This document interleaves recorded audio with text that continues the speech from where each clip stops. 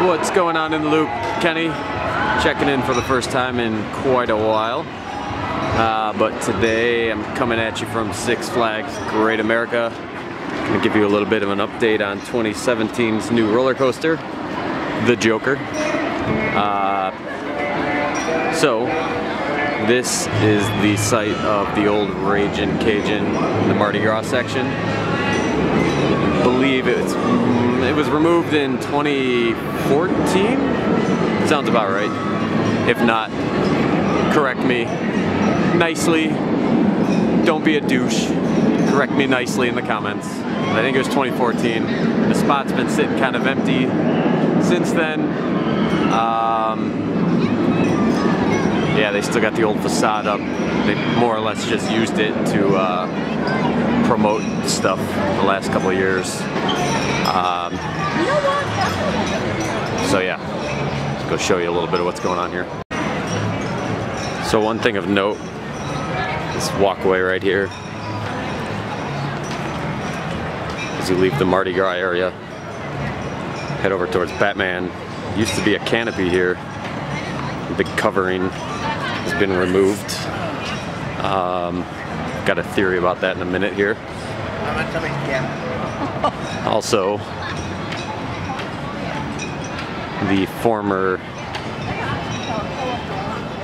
East River Crawler sitting here right next to Batman. It's been removed, has now been relocated to where the orbit was.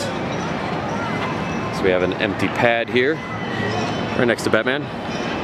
Um, I think why this happened and why that canopy was removed. There's a, a possibility, maybe, not sure. I don't, I don't know anything about this, so this is just a guess. This walkway may be moved slightly so that over there behind those trees, that's where Joker's gonna go. Might stick out a little bit. They might have to move the walkway. I'm not sure. Uh, that or they're gonna be really awesome about it and the ride will cross this walkway come over here. But I doubt that. That's just me hoping. Coming back here around the back side of this area. Picnic area back there. You got the log flume off in the distance. Uh, here you go. That's what you're looking at. Here's your site. It's the back of the Raging Cajun facade There's the area where it's going to go. Much has gone on yet. A little bit of machinery in there. Deconstructing that structure, maybe. Not quite sure.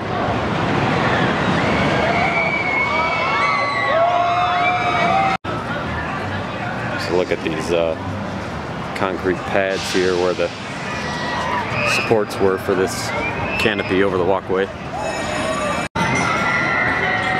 Here's a look at that structure from the other side.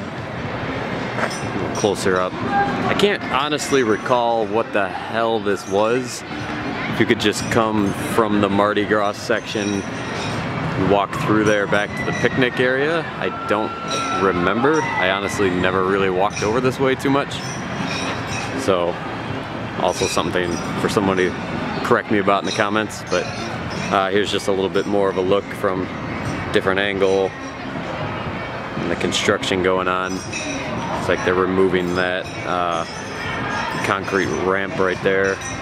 Who knows if they're gonna save that facade. I can't see them doing it personally. Uh, it's kind of ugly, fit in with Raging Cajun, but can't see them theming it well with Joker. Not to mention, when you come from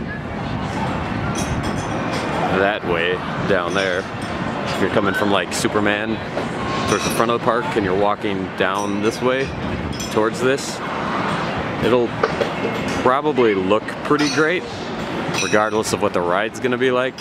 I don't know, I'm holding my judgment on that because I've not ridden one of these S&S free fly things yet. But it'll at the very least look good and that facade just kind of get in the way so I can't see them keeping it. Uh, so all those queues will probably come out right there that whole little structure. So we'll see. Um, tomorrow's the last day of operation for the season. Uh, obviously, not much is going to change by tomorrow, if anything. So this will be the final update, the one and only update, a one-off, um, until this bad boy opens next year. So, be here to cover it for you then. But for now, this is what you got.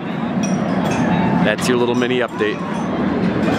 So thanks for watching. Be sure to follow me on Twitter at In The Loop Kenny. Follow all the other guys. Just check down below. You'll get the links to everybody. And make sure to subscribe. Adios.